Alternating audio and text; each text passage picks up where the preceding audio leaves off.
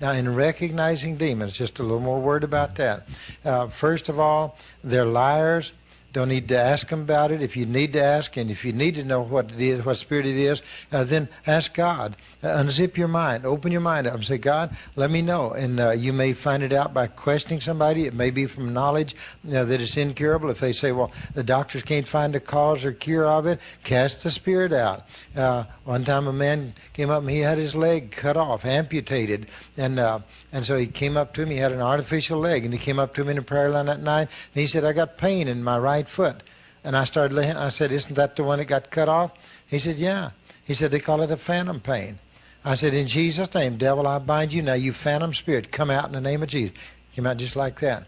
Uh, unzip your mind, though, because uh, uh, we caution you about uh, uh, hitting the Bible a great long period of two minutes a day, uh, not even thinking about God during the day, except He passes your mind enough to say, God, would you do this for me?